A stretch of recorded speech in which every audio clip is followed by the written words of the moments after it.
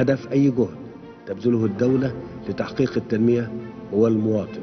بعد تبني الحكومة المصرية مؤخرا برنامجا طموحا للإصلاح الاقتصادي عملت في ذات الوقت على تنفيذ برامج ومشروعات حماية اجتماعية من شأنها تخفيف الآثار السلبية المحتملة على الطبقات الفقيرة والهشة. الدولة خصصت من الموازنة العامة ما يزيد عن تريليونين جنيه خلال الثمان سنوات السابقة غير أن مخصصات برامج الحماية الاجتماعية ارتفعت من 229 مليار جنيه عام 2013-2014 إلى 312 مليار جنيه عام 2020-2021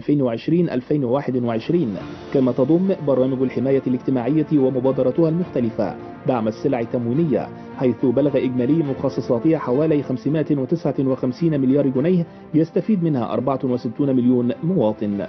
وذلك في ضوء ارتفاع المخصص للفرد من 15 جنيه عام 2014 إلى 50 جنيه. وأطلقت الدولة برنامج الدعم النقدي المشروط تكافل وكرامة في مارس 2015 ضمن الجهود المبذولة لتطوير شبكات الأمان الاجتماعية. وقد بلغت قيمة المخصصات لمعاش الضمان الاجتماعي وتكافل وكرامة نحو 121 مليار جنيه وهو ما ساهم في نمو عدد الأسر المستفيدة من برامج الدعم النقدي. من 1.7 من عشر مليون أسرة في 2014 إلى 4.1 من عشر مليون أسرة في 2022 وفي ظل الأزمة الاقتصادية العالمية التي كان لها تأثيرها السلبي على كافة الدول جاءت توجيهات الرئيس عبد الفتاح السيسي بالتوسع في إجراءات الحماية الاجتماعية وذلك باتخاذ حزمة من القرارات لمجابهة الأزمة. وها هي الحكومة تعلن عن بدء تنفيذ هذه الإجراءات التي تشمل زيادة 100 جنيه على البطاقات التموينية يستفيد منها أكثر من 37 مليون مواطن. من المقرر تطبيق هذه الزيادة بداية من شهر سبتمبر المقبل. كما أن وزارة التضامن الاجتماعي بدأت الخطوات الفعلية لإضافة نصف مليون أسرة لبرنامج تكافل وكرامة والمقرر بدء صرف المعاشات الخاصة بها اعتبارا من مطلع شهر سبتمبر المقبل وذلك بتكلفة تصل إلى ثلاثة مليارات جنيه إضافية تصرف من الاحتياطي العام بجانب ما وعد به التحالف الوطني للعمل الأهلي التنموي بإضافة 600 ألف أسرة لبرنامج تكافل وكرامة بواقع 420 ألف أسرة ستحصل على دعم نقدي. كما أن التحالف سيقوم أيضا بتوفير الدعم الغذائي ل 180 ألف أسرة بقيمة تعادل الدعم النقدي الذي يحصل عليه الأسر المضافة. فهي إجراءات تعكس المعنى الحقيقي للجمهورية الجديدة التي يتمتع فيها المواطن بكرامته من حياة كريمة وسكن مناسب وصحة جيدة.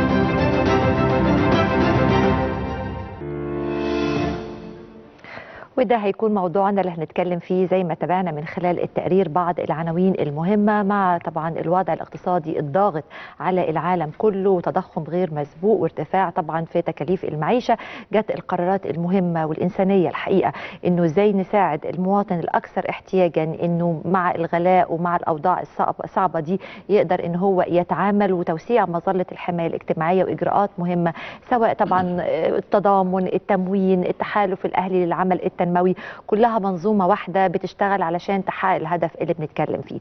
تفاصيل أكتر هنعرفها من ضيوفنا. خليني أرحب هنا في الاستوديو باستاذ محسن سرحان عضو التحالف الوطني للعمل الأهلي التنموي. أهلا وسهلا بحضرتك يا أستاذ محسن. وهو أيضا الرئيس التنفيذي لبنك الطعام المصري. شرفني يا فندم. أهلا وسهلا. باشمهندس عبد المنعم خليل رئيس قطاع التجارة الداخلية بوزارة التموين. أهلا وسهلا بيك يا باشمهندس. الخير عليكم مشاهدينك الكرام. إن شاء الله يكون برنامج ناجح. ربنا يخليك. باشمهندس عبد المنعم يعني عايزة ابتدي مع حضرتك تدينا فكرة كده إيه الشغل؟ إيه القرارات والإجراءات اللي تخص وزارة التموين وغيرها؟ يعني أنا فاهمة إن الحكومة دلوقتي شغالة مع بعض على قلب رجل واحد. كل وزارة في ملفها بتشتغل عشان تحقق الهدف اللي بنتكلم فيه. طب في بداية الكلام نقول بس هي نجاح الدولة في أيوة. ظل الظروف اللي بنمرها العالم كله في زي ما حضرتك قلتي التنسيق الكامل. محدش شغال في معزل التاني عشان بس ما نقولش وزارة عن وزارة وأقول وزكي وزارة التموين يعني وزارة التموين والتجاره الداخلية لها دور وزارة التضامن لها دور جهاز الخدمة الوطنية له دور القوى الاداريه كله شغال في تنسيق كامل. تمام. طيب لما في الظروف اللي مر بها العالم كله من كورونا وحرب أوكرانيا أثرت على العالم متضخم زي ما حضرتك أشرتي. كان هناك توجيهات من القيادة السياسية فخامه الرئيس عبد الفتاح السيسي بحزمة إجراءات للحماية الاجتماعية للحد من رفع الإعباء عن المواطن المصري تمام مش عارف بقى حضرتك يعني ده ما يخصناش أو برضه الكل- برنامج آه،. أول حاجة آه. 500 جنيه معاش استثنائي لبعض الأسر المحتاجة ومش هنتكلم عليها دول هتكلف الدولة 5.5 مليار جنيه لمدة 6 شهور. اللي في الشق اللي يخص وزارة التموين كان هناك زيادة 100 جنيه للبطاقة التموينية التي تتكون من أسرة واحدة زيادة 200 جنيه للبطاقة التي تتكون من أسرتين 300 جنيه للبطاقة التي أكثر من أسرة اللي هي المركبة لثلاث أسر.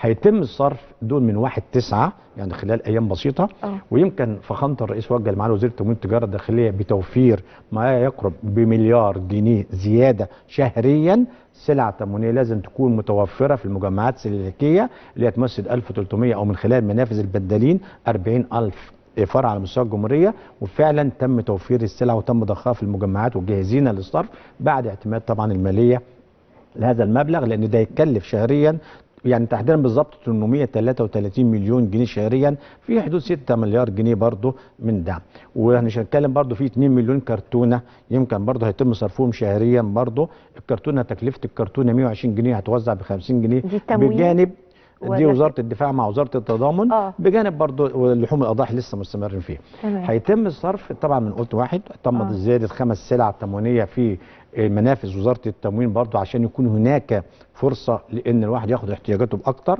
إيه برضو من ضمن المزايا اللي حصلت في هذه الفترة كان المواطن بيحصل على التموين مرة واحدة في الشهر لا الحمد لله في خلال الست شهور ده ممكن يحصل على مرة أو اثنين وثلاثه ودي برضو انسيابيه له وحرية إن هو يختار حاجاته الأساسية لبيته في الوقت اللي في الوقت اللي هو فيه. فيه آه. في طبعا شروط هنتكلم فيها تفصيليا لما حضرتك يعني كده. في الصرف إزاي؟ بداية الصرف من واحد البطايق. هرجع لحضرتك فيها يا باشمهندس. أستاذ محسن تحالف الوطن العمل الأهلي الحقيقة يعني اثبتوا عن جدارة إنه في إيده في إيد الحكومة والهدف هو المواطن. التنسيق اللي حصل ما بينكم ودوركم بقى في الحماية الاجتماعية وتخفيف الأعباء. آه، طبعا آه، أنا هكمل من آه، يعني من النقطه اللي اثرها الباشمهندس إن محدش دلوقتي في البلد شغال في آه، يعني منعزل. عن التاني. آه. وإحنا التحالف الوطني للعمل الأهلي يعني كجهه بتحاول على قد ما تقدر إنها تنظم شغل القطاع المدني في مصر. طبعا ال- الجامعات في مصر آه، قطاع عريض وقطاع قوي جدا. إحنا أكتر من يعني أكتر من 40 ألف آه، كيان شغال في جمهورية مصر العربية في كل شارع وفي كل بيت وفي كل حتة. ف وكان ده يعني بيثار دايما لا هم جمعيات بس كبيرة اللي شغالة والباقي الجمعيات لا القطاع المدني في غاية القوة وكل كيان من الجمعيات الكبيرة بيشتغل كمظلة. كنا محتاجين بس التنسيق وكل واحد شغال في ملف. واللي حصل دلوقتي آه، يعني لو هنتكلم على التنسيق أنا شايف إنها سابقة في عالم التنمية سواء في جمهورية مصر العربية أو يعني آه، بكل وضوح آه، والتاريخ يشهد بذلك يعني. اللي حصل ده ما حصلش في أي دولة في العالم قبل كده. يمكن كان في بعض المحاولات لتنسيق عمل الجمعيات بهذا القرب اللي إحنا شغالين بيه اتعملت في يمكن في بعض الولايات آه، في أمريكا أو في بعض ال ال ال الأماكن في يعني في أوروبا الغربية. لكن كانت الجامعات بتتحد مع بعض عشان قضية معينة ومربوطة بفترة زمنية وبعدين خلاص. لكن إحنا دلوقتي بنشتغل كلنا على قلب رجل واحد القطاع المدني في مصر واخدين ملفات يعني إحنا التحالف من جوه مقسمين نفسنا آه، للجنة لل- للأمن الغذائي والدعم النقدي آه، لجنة للتنمية الصحية ولجنة للتنمية الاقتصادية وتوليد الدخل. تمام. آه، على حسب الظروف طبعا اللي بتمر بيها البلد آه، عمل اللجان بتاخد أولوية لجان عن لجان. فاحنا حاليا مركزين طاقتنا كلها هلا في الأمن الغذائي والدعم النقدي. وهنطلع منه إن شاء الله إلى خطة للاستدامة إن إحنا نحاول نمكن المستحقين اقتصاديا بحيث إن إحنا ن phase out أو نطلع من هذا الدعم والى إن الناس مشاريع ومصدر متحكمة في مصائرها بأيديها. يعني وبياكلوا من من من إيديهم يعني زي ما بنقول. اللي بيحصل دلوقتي حاليا إن إحنا آه، طبعا ال- الدعم الاجتماعي اللي الدولة أعلنتها ده extension أو آه، آه، فقرة جديدة لشبكة قوية جدا للحماية الاجتماعية قائمه بالفعل. آه، برنامج تكافل وكرامة دلوقتي وصل لأكثر من 5 مليون آه، أسرة في مصر. آه، ده غير طبعا شبكات التموين اللي يعني بتمس يمكن أكثر من 60 70% من ال من الهاوس هولدز في مصر آه، إحنا من جانبنا في التحالف إحنا آه، التزمنا إن إحنا نتولى 600 ألف أسرة. في الفترة القادمة آه، 420 ألف أسرة هنوفر لهم دعم نقدي متوسط 500 جنيه و180 أسرة هنوفر لهم دعم غذائي بما يوازي نفس المبلغ شهريا. إيه الفرق؟ وليه دول دعم نقدي ودول غذائي؟ على حسب احتياج الأسرة. آه آه. برامج الحماية الاجتماعية آه يعني مثلا لو هاخد تكافل وكرامة على سبيل المثال هو يبان في ظاهره إن أنا ممكن أكون بوزع شهريات لكن ده برنامج تنموي محكم ووراه سنين من الدراسات والأدلة اللي ده من أنجح الطرق للتخرج من الفقر. في أسر معينة لما أنا بديها هذا الدعم النقدي وفي نفس الوقت بيبقى مشروط فأنا بقول لها لازم ابنك يخش المدرسة آه عدد معين آه من من الحضور والغياب ويروح آه. الوحده الصحية يكشف عدد معين خلاص يبقى أنا في شهرية هتطلع ده. من أكثر الطرق نجاحا ومقاسة من أكبر الجهات البحثية في العالم للتخرج من الفقر في أنواع تانية من الأسر بيكون الأحسن إن أنا أديهم دعم غذائي مباشرة مش نقدي. لأسباب إن في تركيبات معينة من الأسر أنا لو اديتهم دعم نقدي آه، بص يعني مش عايز يعني هتكلم بصراحة شديدة ال- الستات لو مسكت ال- الفلوس في إيديها أيوه. بتأكل عيالها آه،. وبتصرفها صح أيوه لا لا الرجالة بقى لما بيمسكوا حاجة تانية ده حاجة الرجاله الرجالة لما بيمسكوا فلوس في إيديهم مش دايما. مش دايما ده مش دايما ده أيوة. اللي بيحصل واللي أنا بقوله ده يعني لا ده إحنا بيوتنا كلها إحنا عارفين دي يعني الأبحاث والدراسات كلها اللي ليها دعوة بالتخرج من الفقر بتقول كده لو. عايز تدي شهريات امسك مسكها للست الست للست- مالية حلوة. للست آه. للست في إيديها فعشان كده في تركيبات معينة بندي دعم غذائي مباشرة وطبعا الدعم الغذائي ده بيبقى مربوط يعني في دراسة حالة وكل أسرة واشتراطات يعني مسألة. مش كده فوق ما تتخيلي وأنا بدعو أي مواطن مصري بصفتنا إحنا التحالف كلنا مؤسسات آه، مال عام وكلها مؤسسات آه، يعني من المصريين وللمصريين. اللي عايز يشرفنا في أي من مؤسسات التحالف في أي وقت من الأوقات. أنا هتكلم مثلا آه، يعني على بنك الطعام تحديدا يعني بيوتنا يعني بيوتنا مفتوحة ومكاتبنا مفتوحة في أي وقت. اللي عايز يجي ويشوف الطريقة المحكمة اللي بنشتغل بيها في أي من مؤسسات التحالف. وإزاي دلوقتي أنت عندك 24 جمعية وتحتهم بيشتغل مثلا حوالي 30 40 ألف جمعية عظيم. والجمعيات دي دلوقتي بتشتغل قاعدة بيانات واحدة. مم. فاحنا قادرين نعرف المواطن اللي إحنا بنخدمه من أي جمعية في مصر المواطن ده بياخد إيه من الجامعات التانية وبياخد إيه كمان من دعم في الدولة. وبكده يعني إحنا عشان ما يبقاش في ازدواجية مش- وفي آه آه طبعا. يعني مش بس كده إن إحنا خففنا الازدواجية لا أنا يعني أجزم إن إحنا قضينا على الازدواجية تماما. فكل مواطن إحنا عارفين بالظبط إيه الدعم طب الاجتماعي اللي حضرتك كده. إحنا قلنا 600 ألف أسرة ما. بين دعم نقدي ودعم غذائي. بالظبط. آه، هرجع لحضرتك برضو المزيد من الإجراءات بقى والتفاصيل والاشتراطات لكن على ذكر ال ال ال الشروط والمعايير وقاعدة البيانات. طبعا إحنا الحمد لله يا رب بقى لأول مرة عندنا قاعدة بيانات في المصرية تمام. تسهل لنا إحنا محتاجين نساعد مين وفين.